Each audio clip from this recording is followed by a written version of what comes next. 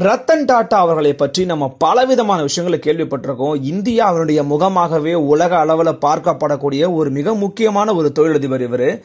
இவர் சமீபத்தில் ஒரு விஷயம் பண்ணியிருக்காரு அதுதான் பலரையுமே ஆச்சரியத்துக்கு உள்ளாகி இருக்கு பதினெட்டு வயதே நிரம்பிய ஒரு இளைஞர் ஆரம்பித்த ஒரு ஃபார்மா கம்பெனியில பிரபல தொழிலதிபராக இருக்கக்கூடிய ரத்தன் டாடா அவர்கள் தன்னுடைய சொந்த பணத்தை போட்டு முதலீடு பண்ணிருக்கிறது தான் அந்த ஆச்சரியத்திற்குரிய செய்தி. கடந்த ரெண்டு வருஷத்துக்கு முன்னாடி மும்பையைச் சேர்ந்த அர்ஜுன் தேஷ் பாண்டே அப்படிங்கிற பதினெட்டு வயது இளைஞர் ஒருவர் ஃபார்மா பிசினஸ் பண்ணக்கூடிய ஒரு கம்பெனியை ஆரம்பிச்சிருக்காருங்க.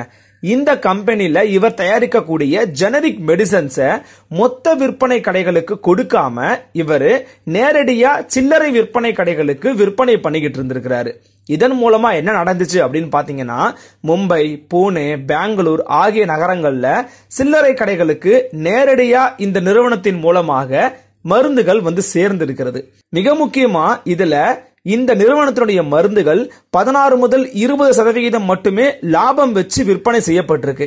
இதனால சில்லறை கடைக்காரங்களுக்கு ரொம்பவே குறைந்த விலையில மருந்துகள் கிடைச்சிருக்கு.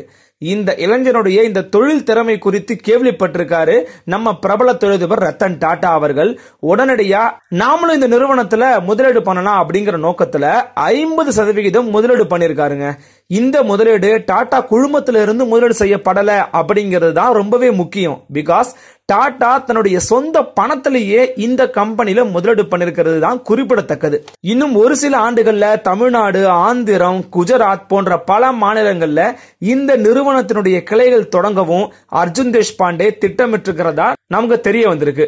இந்த விஷயம் தான் தற்போது சமூக வலைதளங்கள்ல வைரல் ஆயிட்டு வருதுங்க.